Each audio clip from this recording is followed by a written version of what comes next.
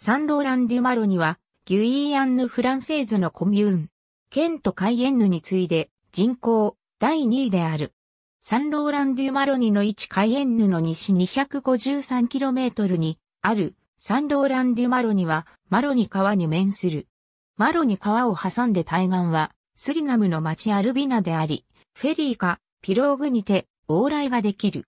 サンローランが大西洋に面していないのは、回路を用いて囚人が脱走することのないよう、刑務当局が望んだためである。サンローランには異なる人種が共存している。先住民カリナ族トロコノ族、ミャオ族、インド人、マルーンを祖先に持つ諸族、ハイチ人、スリナム人、ブラジル人などである。欠片の気候区分によって厚く湿度の高いサンローランは熱帯雨林気候に分類される。季節は一種類しかなく、年に二度降雨量のピークが来る。空気は暖かく湿潤である。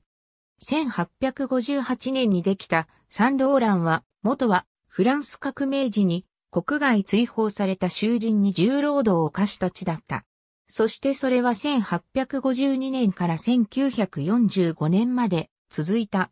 正式にコミューンとなったのは1949年11月9日である。近郊のサンモーリスには、サトウキビ畑とラム酒蒸留所があり、ラ・ベルカブルスの名のラム酒が製造される。また、サンローランは基地の町でもある。ギュイーアンヌ・フランセーズ政府管理下にある連隊は、ギュイーアンヌ西部やマロニの雇用を生み出している。海兵隊の第9連隊は、ギュイーアンヌ西部の国境地帯にある河川や森林の監視を行っている。ポップやレシャンズ・リゲイルズ2008でラコンミューン、サンローランジュ、マロニシュールルサイトデールインセイハット、ビデオシュールルソークセンティアム、アニベルセルデラビルデサンローラン、http コロンスラッシュスラッシュビデオズ .sport24.com スラッシュビデオスラッシュ ilyroafmyrb.html ありがとうございます。